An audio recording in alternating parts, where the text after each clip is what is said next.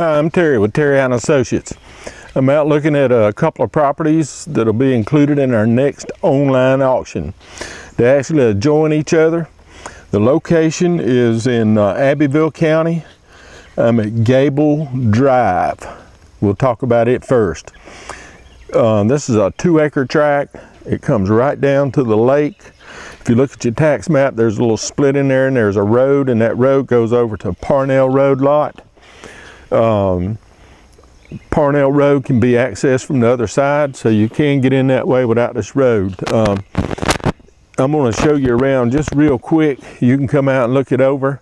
Uh, you might want to get a survey if you buy this property just to figure out exactly what you bought and we'll go from there. Gable Drive has two mobile homes.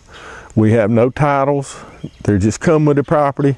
If you can make use of them, great. If not, then they're still yours.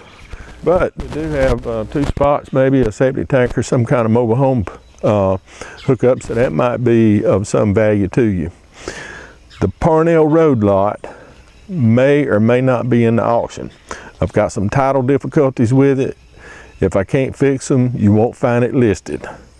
If I can fix them real quick and inexpensive, then it'll be on there and open for bidding.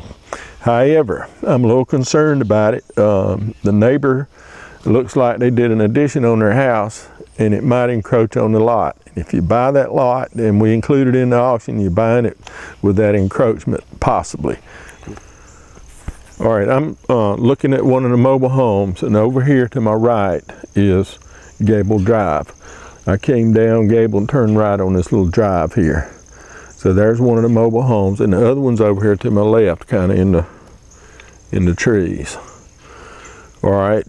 This is that little gap on your tax map. I really don't know who owns that without a survey. And it goes over there, you can see that Parnell Drive lot, and there's the water. And it's possible that this neighbor over here next door have some of their items on our lot.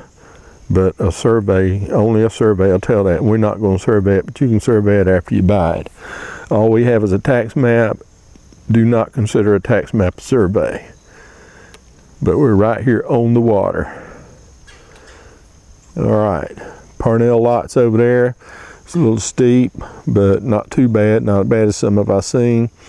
Again, if I can't get the title worked out, we're going to abandon that lot and not include it. But a nice piece of property here, two acres of land right down here at the lake.